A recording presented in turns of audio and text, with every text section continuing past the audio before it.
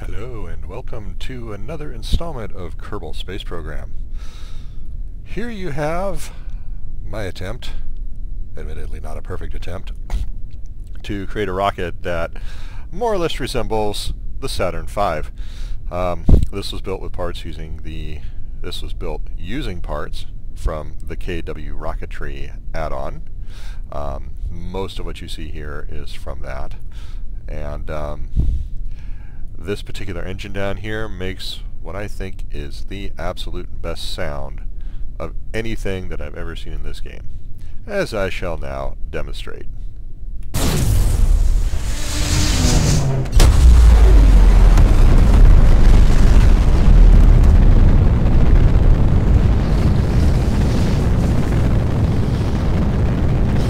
Starting to uh, tilt over a bit here rocket's long enough that with the physics it kind of wobbles back and forth. I've turned off um, stability control here because it actually exacerbates that wobbling when it's on. And I'm going to turn it on here to keep it stable.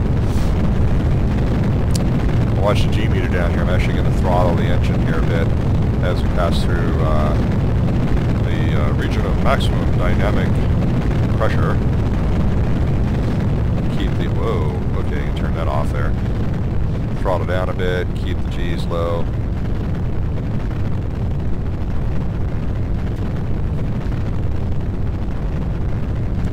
I'm going to try to make this so that when I get up here a bit, fire off the second stage. When the second stage runs out, I'll be more or less in orbit.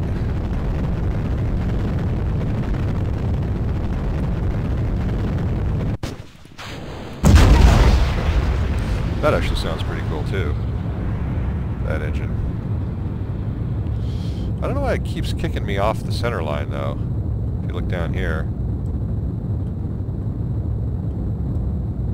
Okay. Turn that back on. I gotta bring this over now.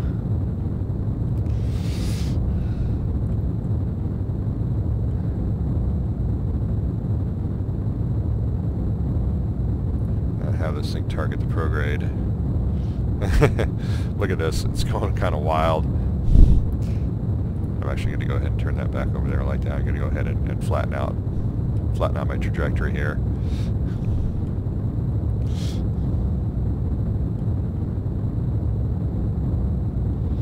The idea here is I don't want to be too high when the engine cuts out, but I think I'm already going to be a lot higher than I want to be. I'm already in or in space.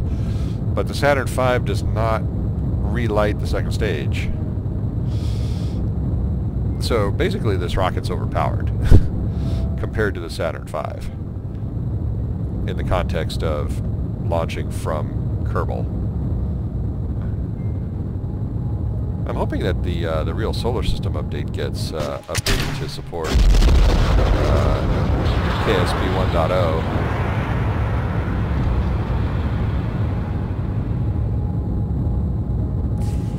circularize our orbit here. Oh, we are going to see, we're just, we're just going way out here. Alright, we've already hit escape trajectory from Kerbin, so obviously I need to load this thing up with some more weight if I'm going to actually turn this into, some, into an actual moon rocket that is analogous to the actual Saturn V because right now it's just too light. You know, third stage is putting me on a trajectory that's going to put me into a heliocentric orbit. Although I should have actually turned it off. That's okay though.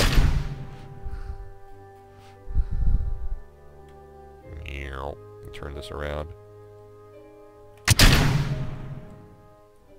We've got these adapters here.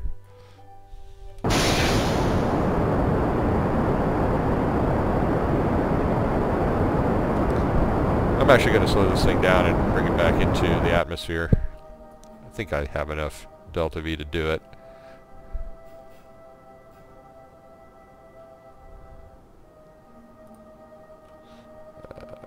Throttle up to full. Basically just keep pointing at the retrograde direction. Look at it.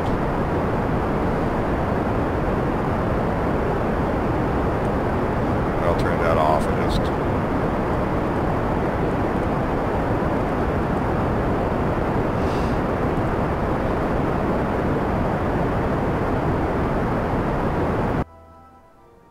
It's uh, coming back in. Let's see if I can bring it all the way back in and actually bring it back into the atmosphere and recover it.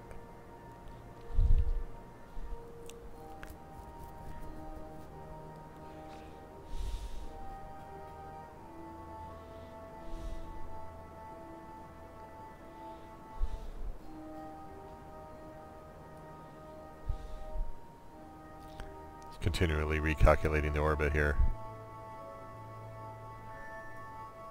There we go. How much fuel we got left? Eh, we got quite a bit. Let's see if we've got enough. Oh yeah. Okay, well we're definitely going to re-enter.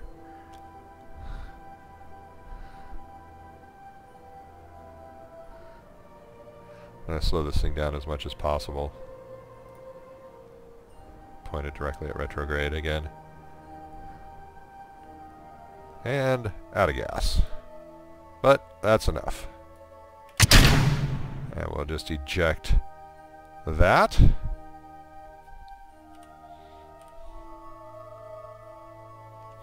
And uh, we're going to do some time warp here. Bye-bye.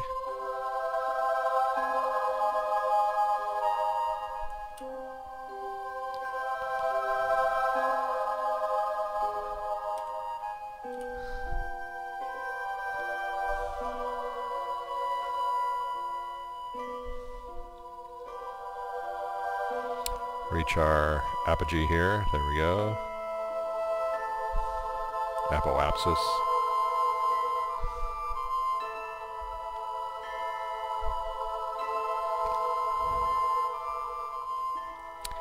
And we're going to come down in a big hurry.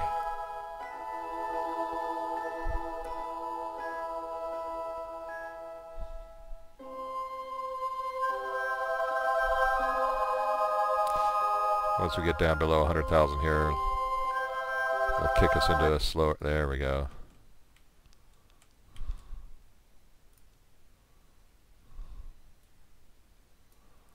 Okay, turn that off. And that's still up there.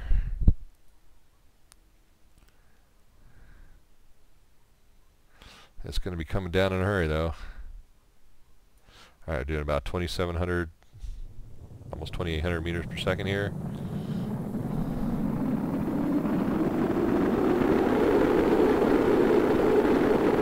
G-force is climbing. Three,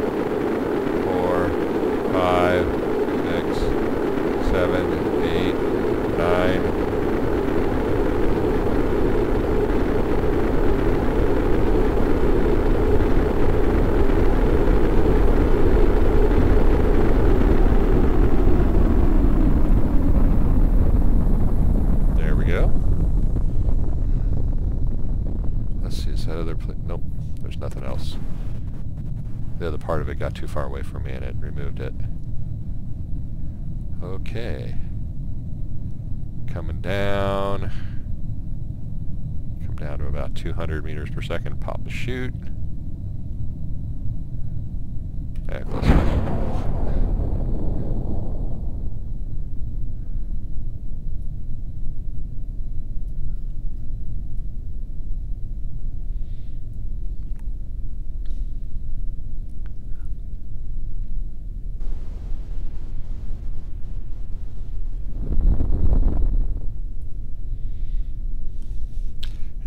Speed this up a bit here. Yes, yes, I know. Don't use it with big ships. Or they'll explode.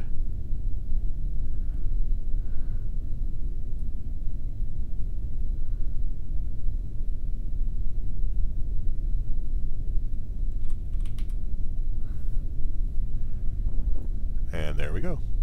Recover vessel. Anyway, that is, uh, like I said, my attempt at creating something that's more or less like a Saturn V. Um, obviously it needs work if I'm going to make it truly analogous.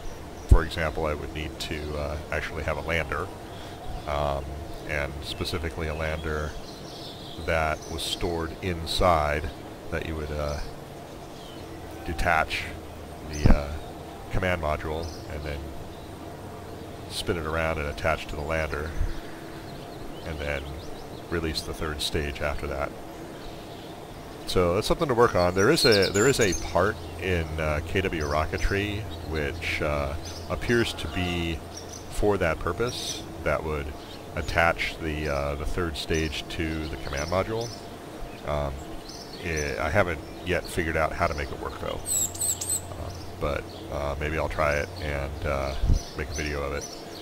although I'm sure that somebody else has already done that. Anyway, uh, if you uh, have watched to this point, thanks for watching and we'll see you next time.